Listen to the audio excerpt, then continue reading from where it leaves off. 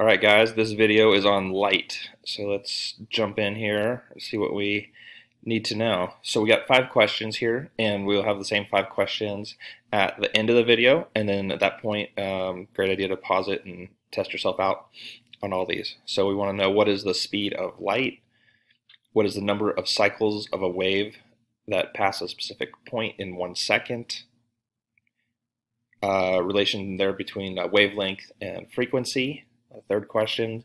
Uh, visible light falls into what range in the electromagnetic spectrum? So we'll definitely be going over that uh, electromagnetic spectrum and uh, which type of wave has the shortest wavelength and is also the most dangerous in the electromagnetic spectrum. Okay.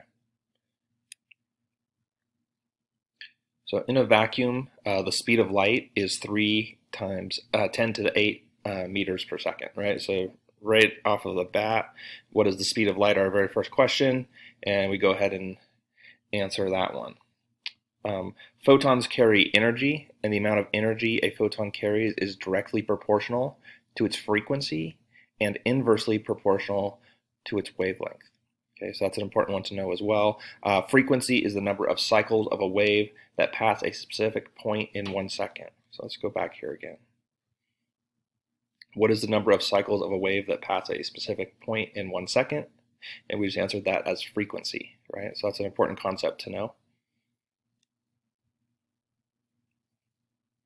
And as we get into waves, so really there's four uh, type of waves I want to talk about that are the most common uh, that you'll be tested on, which are microwaves, transverse, longitudinal, and mechanical.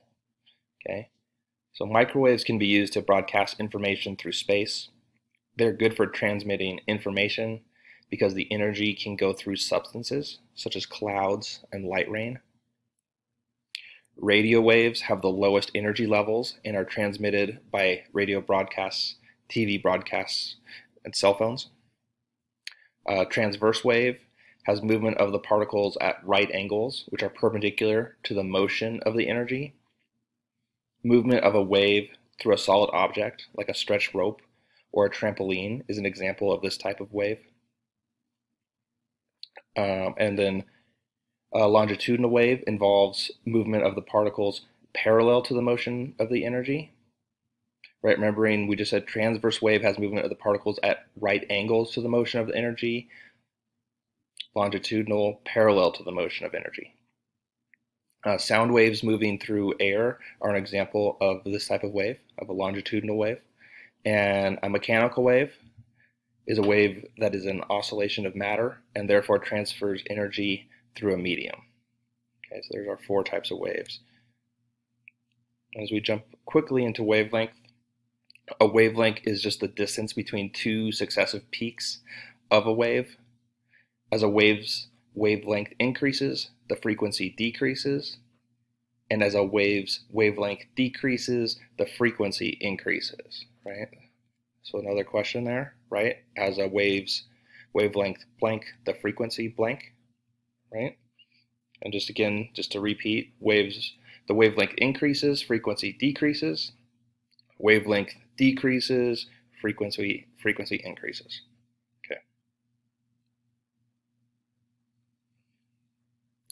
Uh, wavelength is also measured in meters.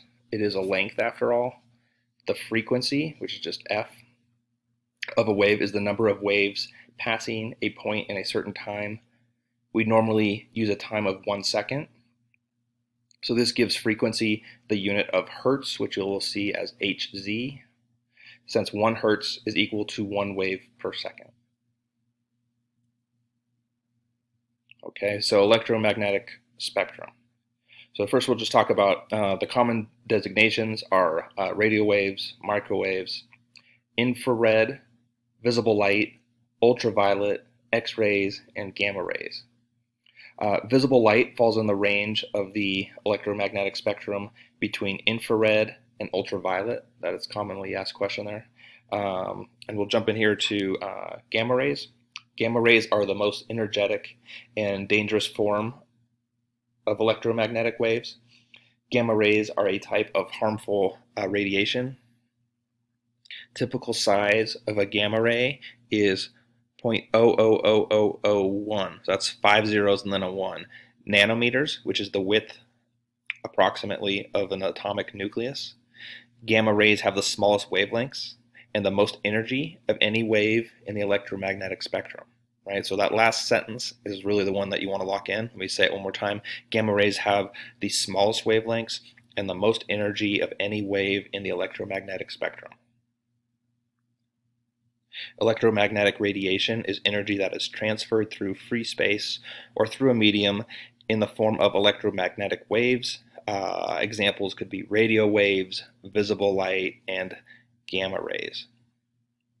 And then finally, uh, just a small point, uh, a particle of elect electromagnetic radiation is known as a photon and sometimes called a light quantum. Okay, and with that, we've covered uh, everything you really need to know. So at this point, a uh, great idea would be to test yourself out on these questions and see if you can answer them all accurately. If you're unsure, it's certainly a good idea to go back uh, into the video um, so that you feel uh, confident on all these questions as you head into your exam.